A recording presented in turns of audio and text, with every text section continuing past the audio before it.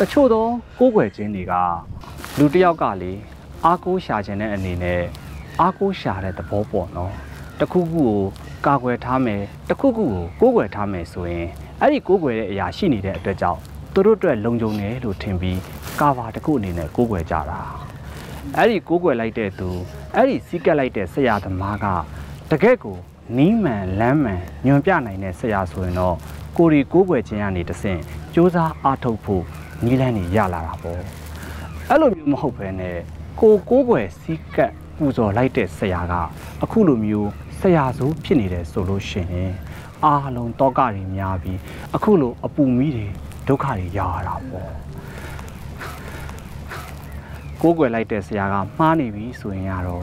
အပယ်ကြဖို့နှီးဆက်သွားပြီဗုဒ္ဓဘာသာမှာကိုးကွယ်နေုံတစ်ခုတည်းနဲ့မပြီးသေးဘူး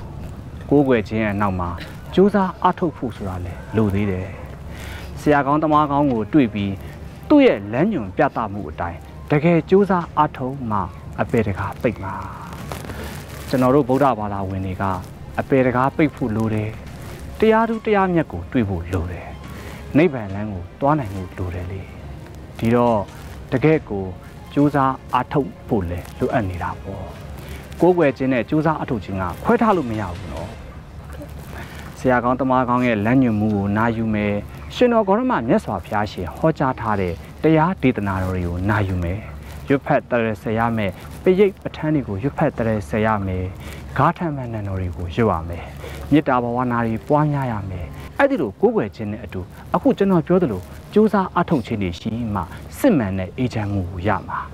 ဒီတော့ကျွန်တော်ပြန်သွားပြီမဲ့ ကျွန်တော်မာကြားထားတဲ့စကားအတိုင်းကျွန်တော်တကယ်မေတ္တာရှိတယ်တကယ်ချစ်တယ်တကယ်တန်ဖိုးထားတယ်ဆိုရင်ဘာသာရေးကိုမမေ့မလျော့နေကြနော်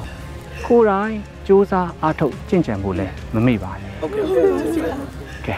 အားလုံးကိုမေတ္တာထားပါတယ်ကျွန်တော်ကိုခွင့်ပြုပေးပါအောင်နော်